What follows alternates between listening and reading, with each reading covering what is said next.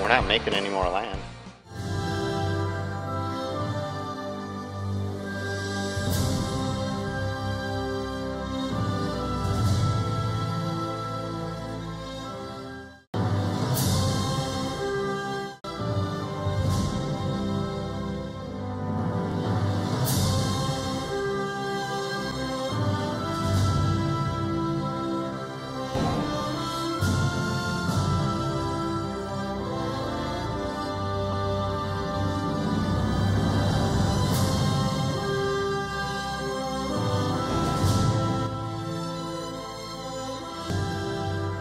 It's an investment, uh, time, heart, soul.